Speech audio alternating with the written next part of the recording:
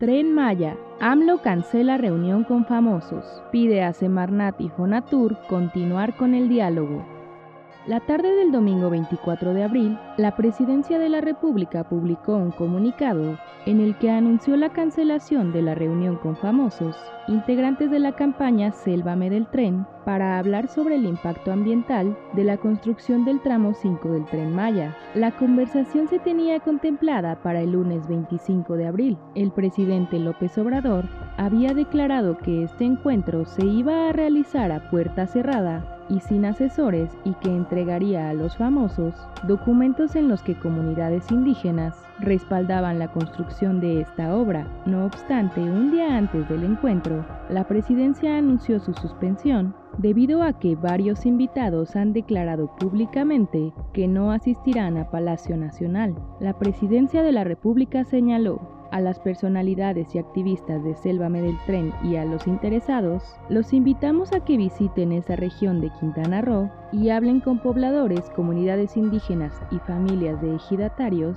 que viven a lo largo del tramo 5 del Tren Maya, que va de Cancún a Tulum a lo largo de la Riviera Maya. Así se enterarán que sí se informó y consultó a la gente, el comunicado señala que se ha consultado a las comunidades sobre la construcción de esta obra. Se menciona que se han realizado dos tipos de consulta, una a las comunidades indígenas y otra consulta abierta a la ciudadanía. Además, se señala que su realización ha contemplado la protección del medio ambiente y el patrimonio arqueológico, y se afirma que no se afectarán cenotes, ríos subterráneos ni cavernas.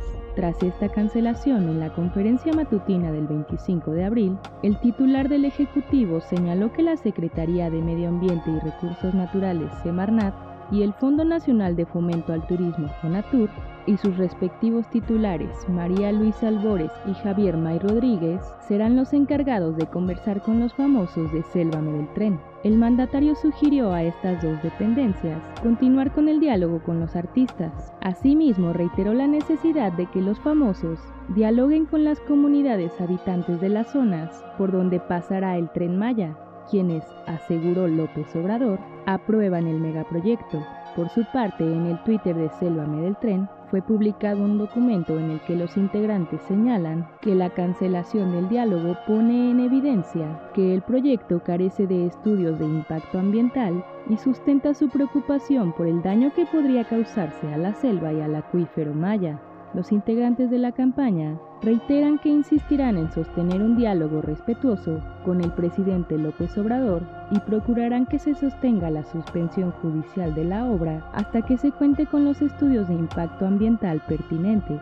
El 25 de abril, Eugenio Derbez publicó un video en Instagram donde señala que fue el único de entre los más de 70 artistas y ambientalistas que dijo que no asistiría a Palacio Nacional y argumentó que su ausencia se debía a cuestiones de trabajo. Asimismo, los integrantes que acudirían este 25 de abril a la reunión programada a las 6 de la tarde realizaron una conferencia de prensa en las afueras de Palacio Nacional para expresar su inconformidad sobre la cancelación del encuentro ya que, mencionaron, algunos de los asistentes venían desde Quintana Roo y ya se había confirmado la reunión con 10 personas, entre ellas artistas, integrantes de la sociedad civil y expertos y expertas. ¿Tú qué piensas sobre la cancelación de este encuentro?